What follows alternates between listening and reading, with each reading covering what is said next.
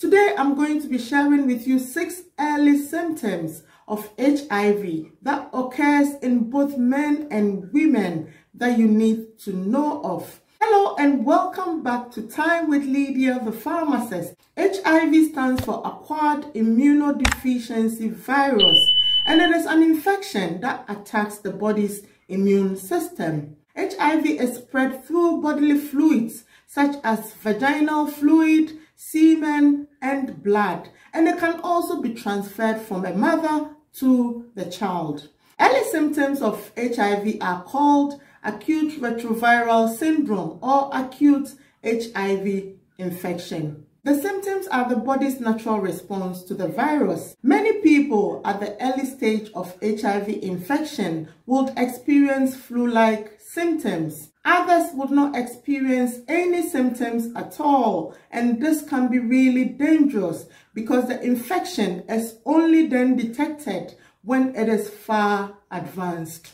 During the early stages of HIV infection, the symptoms that are likely to occur include 1. A high temperature or a fever. You would experience a body temperature of above 37.8 degrees Celsius or 100 degree Fahrenheit and this would normally last for a week or two but for some people it can last for only one day. If there's any chance you could have been infected, get tested. Another symptom, which is number two, that you are likely to experience is a rash. And this rash can appear on the whole body. It can appear on your arms, your chest, and legs. Sometimes too, it can appear on just one or two spots. This rash normally looks more like a drug reaction rash, undefined, and it can last for a week.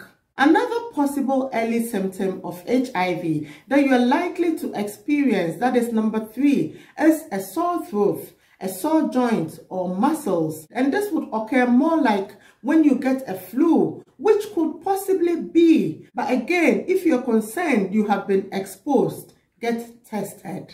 Another early symptom of HIV in both adults, men and women, number four, is night sweats.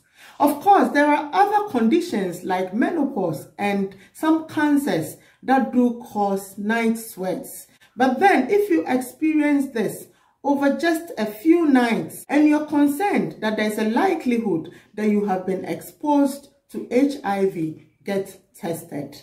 Number five is feeling achy and sleepy. You will feel generally uncomfortable and really fatigued.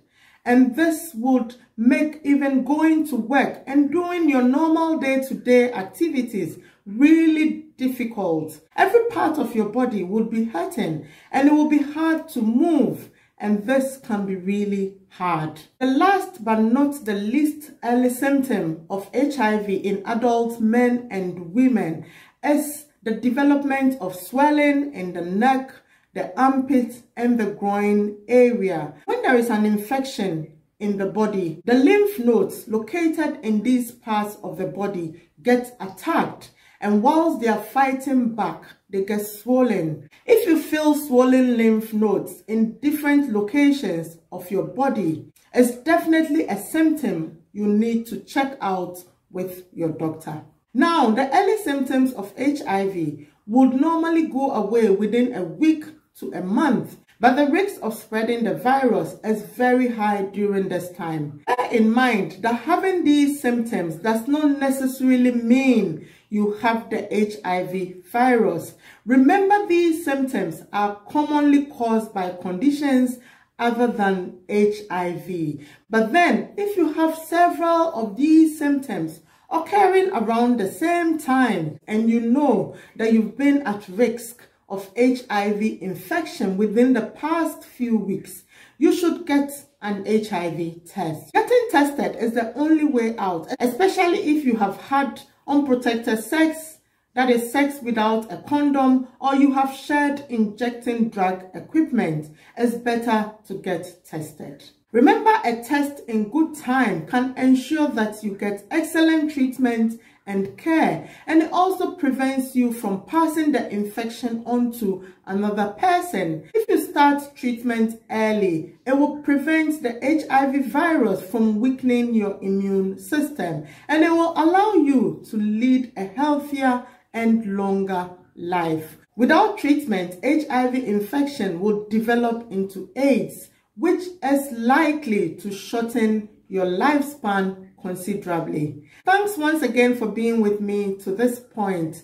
Please give this video a like. If you haven't yet subscribed to this channel, please hit on that subscribe button and also on the notification bell so you would be amongst the first to see any video that I upload. Also leave a comment in the comment section. Share this video with your family and friends so more people can learn about HIV. Thank you once again for your time today and I hope to see you soon in my next video. Bye for now.